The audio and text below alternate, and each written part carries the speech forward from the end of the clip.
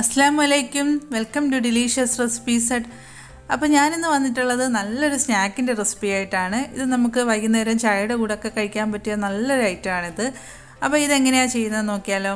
അപ്പോൾ അതിനായിട്ട് ആദ്യം തന്നെ ഞാനൊരു ബൗളിലേക്ക് ഒരു കാൽ കപ്പ് ചെറിയ ചൂടുള്ള പാൽ ആണ് ഒഴിച്ചു കൊടുക്കുന്നത്. പ്രത്യേകം ശ്രദ്ധിക്കുക. പാലിന് ചെറിയൊരു ചൂടുണ്ടാവാൻ ശ്രദ്ധിക്കണം. പിന്നെ ഇതിലേക്ക് വേണ്ടത് ഒരു ടീസ്പൂൺ ഈസ്റ്റാണ് വേണ്ടത്.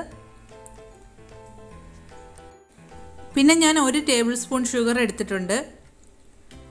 പാലിന് പകരമായിട്ട് ഒരു കാൽ കപ്പ് ചെറിയ ചൂടുവെള്ളം എടുത്താലും മതി കേട്ടോ. അപ്പോൾ ഇത് നന്നായിട്ട് നമുക്കൊന്ന് മിക്സ് ചെയ്ത് കൊടുക്കാം. എന്നിട്ട് കുറച്ച് നേരം ഇതൊന്ന് പൊങ്ങി വരാനായിട്ട് വെക്കണം. അപ്പോൾ ഇതൊന്ന് പൊങ്ങി വരട്ടെ. ആ സമയം കൊണ്ട് ഇനി ഇതിലേക്ക് വേണ്ടത് ഒരു മുട്ടയാണ്. അപ്പോൾ ഇത് നമുക്ക് ജസ്റ്റ് ഒന്ന് അടിച്ചെടുക്കാം. മുട്ട ചേർക്കാൻ ഇഷ്ടമില്ലെങ്കിൽ ചേർക്കണ്ട കുഴപ്പമില്ല. അപ്പോൾ ഇതൊന്ന് പൊങ്ങി വന്നിട്ടുണ്ട്. ഇനി ഇതിലേക്ക് നമുക്ക് അടിച്ചെടുത്ത് വെച്ചിരിക്കുന്ന മുട്ട ചേർത്ത് കൊടുക്കാം. ഇനി ഇതിലേക്ക് നമുക്ക് വേണ്ടത് ഒരു മൂന്ന് ടേബിൾ സ്പൂൺ ബട്ടറാണ് ഞാൻ എടുത്തിരിക്കുന്നത്.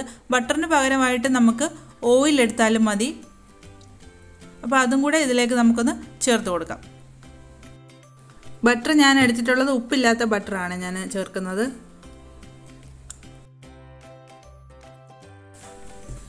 ഇനി ഇതിലേക്ക് ഞാൻ വീണ്ടും ഒരു മൂന്ന് ടേബിൾ സ്പൂൺ ഷുഗറും കൂടെ ആഡ് ചെയ്ത് കൊടുക്കുന്നുണ്ട്. അപ്പോൾ അതും കൂടെ നമുക്കിതിലേക്കൊന്ന് ചേർത്ത് കൊടുക്കാം. ഇത് നന്നായിട്ട് നമുക്കൊന്ന് ബീറ്റ് ചെയ്തെടുക്കാം.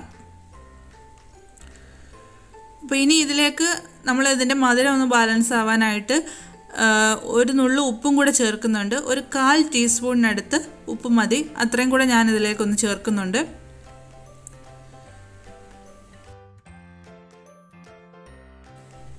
പിന്നെ ഇതിലേക്ക് വേണ്ടത് മൈദയാണ്. അതൊരു രണ്ട് കപ്പ് മൈദയാണ് ഞാൻ ഇതിലേക്ക് ചേർക്കുന്നത്.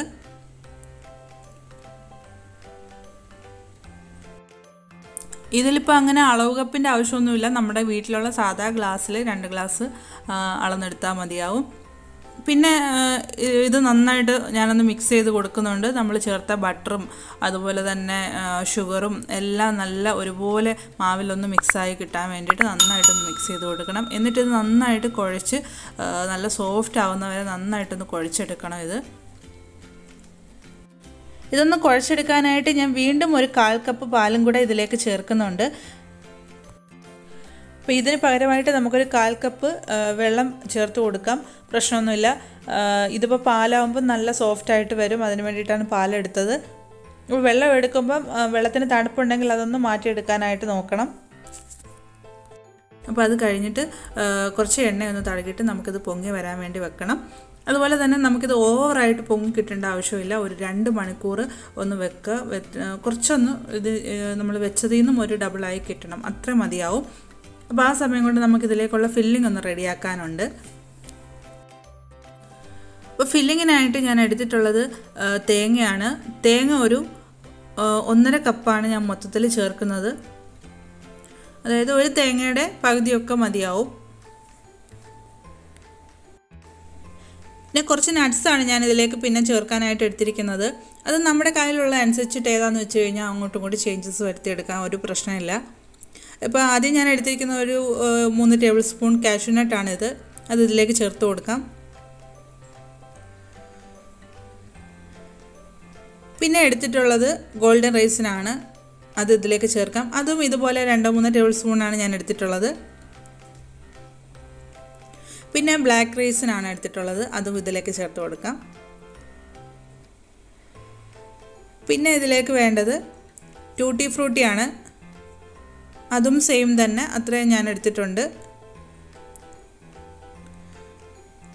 അപ്പോൾ ഇത്രയും ചേർത്തിട്ട് പിന്നെ ഇതിലേക്ക് വേണ്ടത് ഒരു മൂന്ന് ടേബിൾ സ്പൂൺ ഷുഗറാണ് എടുത്തിരിക്കുന്നത്. അതിന്റെ കൂടെ ഒരു നാല് ഏലക്കയും കൂടെ ഞാൻ എടുത്തിട്ടുണ്ട്. അപ്പോൾ ഇത് നല്ലതുപോലെ ഒന്ന് പൊടിച്ചെടുക്കണം രണ്ടും കൂടെ ചേർത്തിട്ട്. അപ്പം അത് ഇതിലേക്ക് ചേർക്കാം.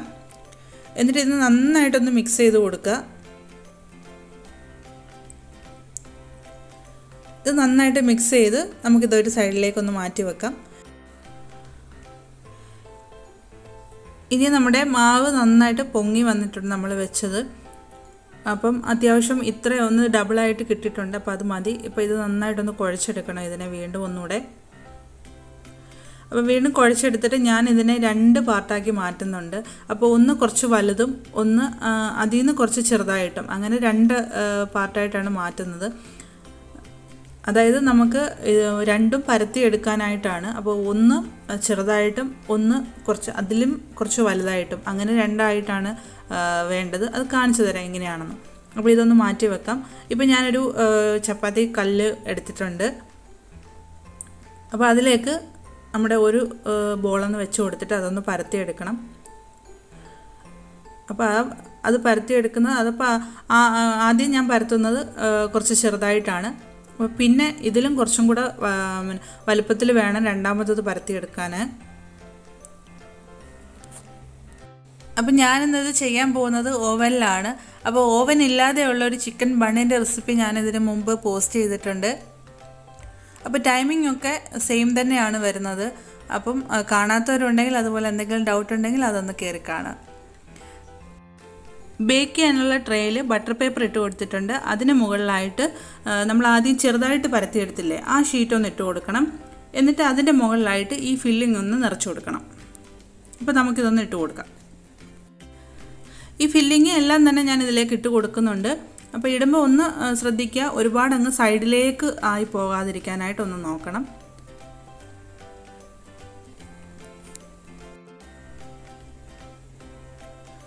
അപ്പോൾ ഇതിന്റെ ഫില്ലിംഗ് എല്ലാം നമ്മളൊന്ന് ഇട്ട് കൊടുത്തിട്ടുണ്ട്. അപ്പോൾ അത് കഴിഞ്ഞിട്ട് നമ്മൾ രണ്ടാമത് പരത്തിയെടുത്ത വലിയ ഷീറ്റ് ഇതിന്റെ മുകളിലായിട്ട് ഇട്ട് കൊടുക്കുക. എന്നിട്ട് ഇതിന്റെ സൈഡുകളൊക്കെ ശരിക്കും ഒന്ന് ക്ലോസ് ചെയ്ത് ക്ലോസ് ചെയ്ത് ഇങ്ങനെ കൊടുക്കണം. അപ്പോൾ രണ്ട് അതായത് വിട്ടു പോവരുത്.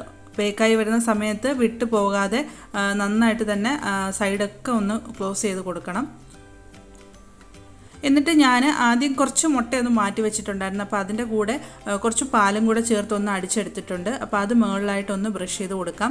ഇനി മുട്ട ചേർക്കാൻ ഒട്ടും ചേർക്കുന്നില്ലെന്നുണ്ടെങ്കിൽ പാൽ മാത്രമായിട്ട് ചെയ്ത് കൊടുത്താലും മതി. അപ്പോൾ ഇത് നന്നായിട്ടൊന്ന് ബ്രഷ് ചെയ്ത് കൊടുക്കാം. ഇനി വീണ്ടും ഇതുവരെ പത്തിരുപത് മിനിറ്റും കൂടെ ജസ്റ്റ് നമുക്കിതൊന്ന് കവർ ചെയ്ത് വെക്കാം. ഓവൻ ഒന്ന് പ്രീ ഹീറ്റ് ചെയ്യണം. അതിനായിട്ട് ടെമ്പറേച്ചർ ഞാനൊരു നൂറ്റി എൺപത് ഡിഗ്രിയിലാണ് ഞാൻ സെറ്റ് ചെയ്തത്.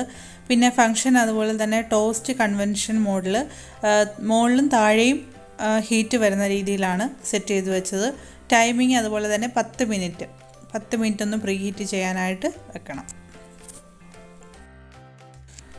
അപ്പോൾ ഒരു പത്ത് മിനിറ്റ് കഴിയുമ്പോഴത്തേക്കും നമ്മുടെ കോക്കനട്ട് ബൺ അല്ലെങ്കിൽ ദിൽക്കുഷ് നമുക്കിത് ഇതിലേക്ക് വെച്ച് കൊടുക്കാം.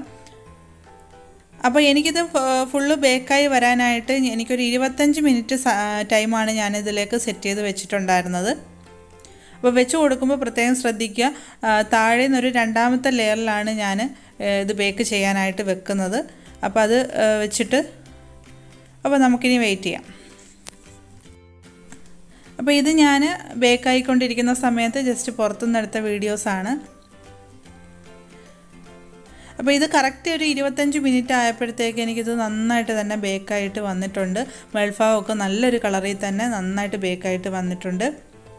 അതുപോലെ തന്നെ ശരിക്കും ചൂട് പോയപ്പോഴത്തേക്ക് നല്ല സോഫ്റ്റ് ആയിരുന്നു നമ്മൾ നമ്മുടെ ദിൽകുഷ് അപ്പോൾ ഇതിനി ഒന്ന് കട്ട് ചെയ്ത് നോക്കാം. അപ്പോൾ ഇതെല്ലാവരും ട്രൈ ചെയ്ത് നോക്കുക. നല്ലൊരു സ്നാക്കാണ് അപ്പോൾ കുട്ടികൾക്കൊക്കെ ഉണ്ടാക്കി കൊടുക്കുക. അപ്പോൾ വീണ്ടും പുതിയൊരു റെസിപ്പിയുമായി നമുക്ക് വീണ്ടും കാണാം. അതുവരെ താങ്ക്സ് ഫോർ വാച്ചിങ്